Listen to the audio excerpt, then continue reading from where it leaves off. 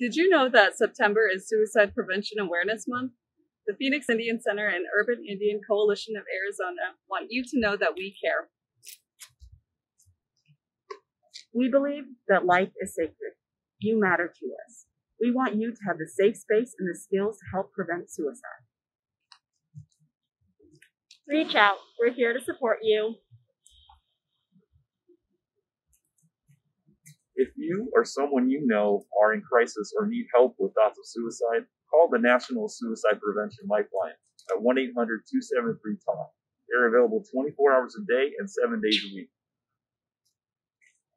For more information about our suicide prevention services, call us at 602 264 6768 or check us out online